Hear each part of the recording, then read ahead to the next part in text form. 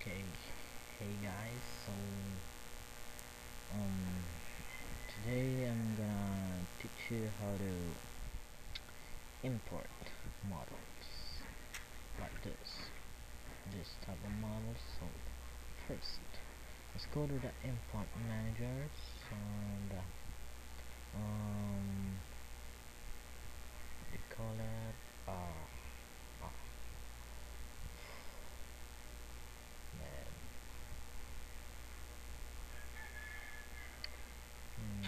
import file so control I. That's it. So there's so much um, files to be imported here. So I'm just gonna use this undead night undead night night time so control I and import all of the resources here On um, LP file.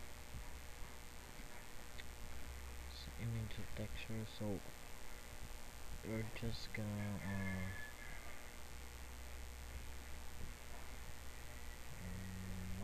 file powers so use constant path so I'm not gonna use this imported delete all the imported file imported thing over here just a file name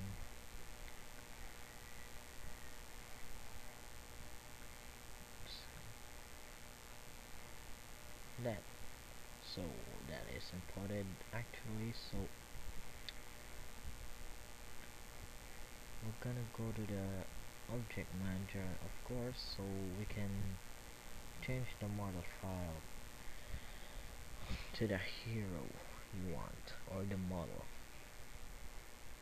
So guess it takes forever to load my computer. I don't know why but I guess it's because with a product file I am using.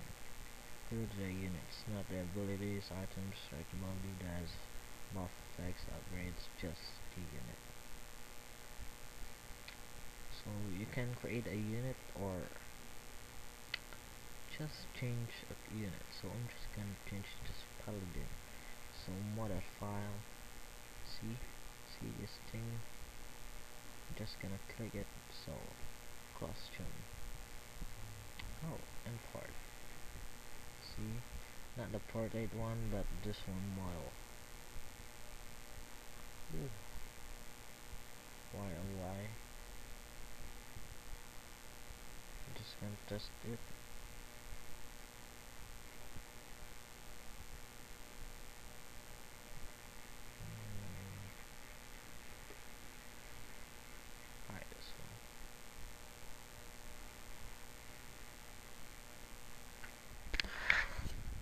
Anyway, feel free to subscribe.